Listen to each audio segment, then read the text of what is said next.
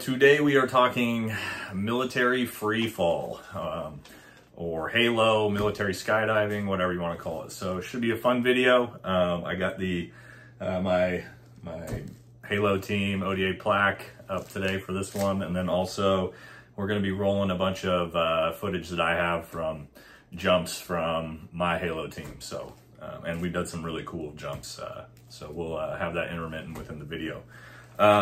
So we'll just start right out the gate. What is military freefall, right? For those of you who don't know, or a Halo team. So military freefall is essentially an infiltration platform to get troops from point A to point B, right? And we do that through skydiving, essentially.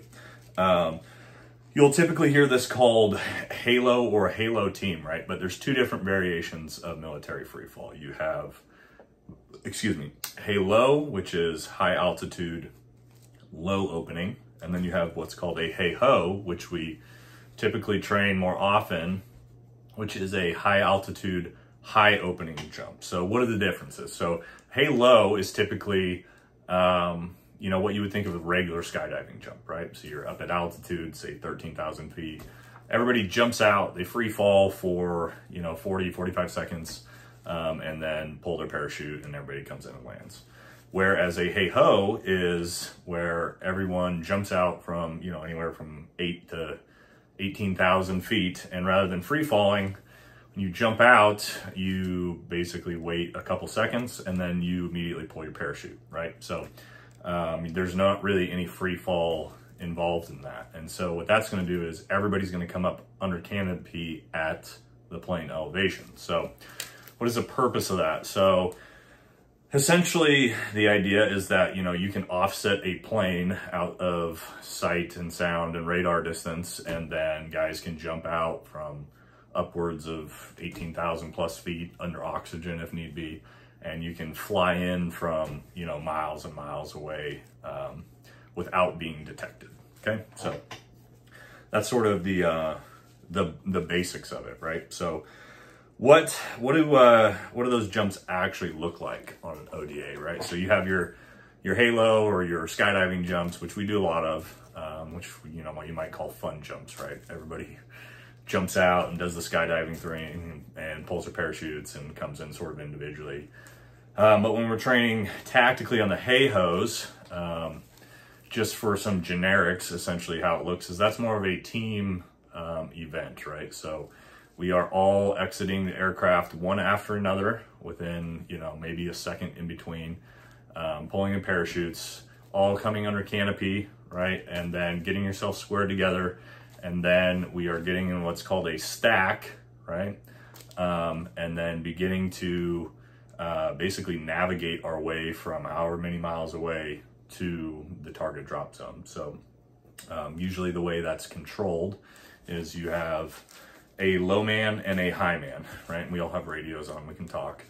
And essentially your low man is the lowest person in the stack. Everybody's sort of following him, right? And he is the navigator. He's navigating his way uh, to the target. And then you have the high man, so the highest guy in the stack, he's sort of watching everything below him and um, controlling guys, you know, trying to get guys more effectively in the stack and trying to get everybody as close as possible, right? Um, because you have to keep in mind, you know, it's cool that we do this during the day um, for fun and whatnot, but this is something you would do at night um, for any real world actual mission, most likely, right? So skydiving at night under nods is uh, intense and quite chaotic and pretty scary in a lot of ways, right? Um, you never know when some guy's going to come zooming at you, right? Uh, so everybody needs to be, you know, head on a swivel and getting guys in that stack to where everybody is following each other all the way into the ground to make sure that we can do that safely, right? Because um, anything that goes wrong obviously has an extreme risk of, of death. Um, so we can't afford to make mistakes in that regard. So what did, um, what did I really like about being on a Halo team? So uh, for me, it took me, you know, I went to Halo school, which is military free fall school that we go to to be able to do uh, military free fall.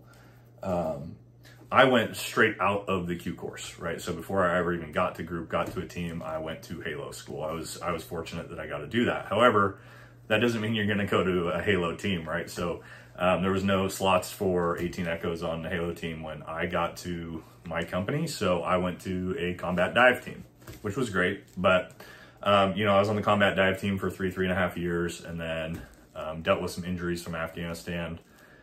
Went to a mountain team for a couple years. And then finally, after about five years on a team, one of my old teammates uh, took a team sergeant slot on a Halo team, and I was able to go to go out to Okinawa and be on his military free fall team for a couple years um, towards the end of my ODA time, which was which was awesome, right? So, um, you know, it's it was my favorite thing to do. You know, military free fall skydiving. It's it's awesome once you get used to it.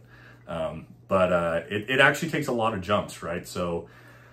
I remember for probably upwards of my first 50 jumps, uh, uh, it was, I was not good and I was always terrified, right? So you're, um, it's it's it's not so much you know that you're doing your regular um, skydiving jumps that's that scary or anything like that. But when you get into these halos and hop and pops, what it's called, where you're jumping out of the plane um, and then within a couple seconds pulling your parachute, that's actually um, a pretty difficult thing to do correctly, and you can end up tumbling and you know um, it can be very chaotic, right? So I, I like most guys dealt with a lot of uh, uh, scary jumps um, as I was first learning how to do it. Um, once you hit about your, and it's kind of the same, once you hit about your 50th jump, it's sort of like the blinders come off a little bit um, and you start to become a little bit more comfortable with your jumps. And then, you know, close to about 100 jumps is when I really felt comfortable and, um, you know, experienced and, and really felt good in the sky and doing all those different types of things.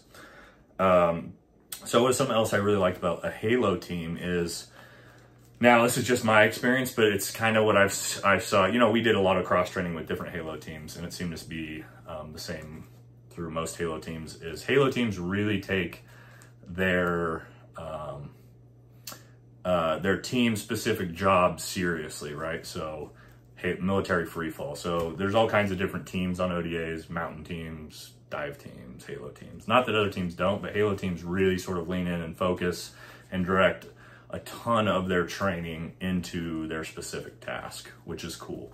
Um, and it's kind of needed because again, it's such a high risk um, type of event that uh, you sort of you sort of have to um, devote that much attention and training to it. So, um, what uh, what are what were some of my favorite jumps? So there's some there'll be some footage in here of a um, jump we did out in Japan where we basically jumped out under full cloud deck, couldn't see the ocean, over the top of the ocean, and basically hit a tiny little island, um, 100 meter, maybe a couple hundred meter by 100 meter box island with our entire ODA. Um, that was probably one of the coolest, wildest um, jumps, but uh, also doing, you know, 18,000 foot night jumps under full oxygen. Um, that's, guys, that's a wild, wild stuff as well. Um, and, you know, just so many other things about, you know, Halo team. You get a ton of time in the wind tunnel and you really get to, you know, hone your craft and, and actually get good at skydiving, which is a really cool thing that the government, you know, is paying you to do. So, um, you know, unfortunately, Halo team for new guys is really hard to get to. Uh, you got to get lucky. Um, one to go to a Halo team or get a Halo school slot. But if you're fortunate enough to um, to do that, then uh, then it's a, it's a really really awesome type of team to be on. So hope that gives you guys a little bit better understanding about you know military free fall, Halo versus HAHO, and what that actually looks like, and and how those jumps actually work on a team. So hope you guys enjoyed that, and have a good day.